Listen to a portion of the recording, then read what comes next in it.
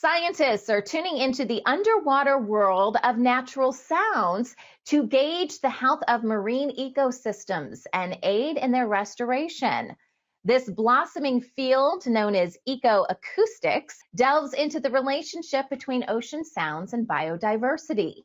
Scientists have uncovered that a vibrant marine ecosystem is a symphony of sounds.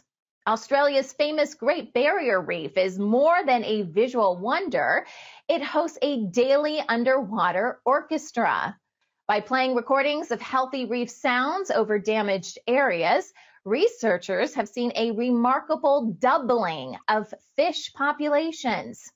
This innovative approach, coupled with traditional conservation efforts, offers a promising pathway to revive our underwater treasures. If you like this video, please share it with your friends and follow us on social media for the latest news updates.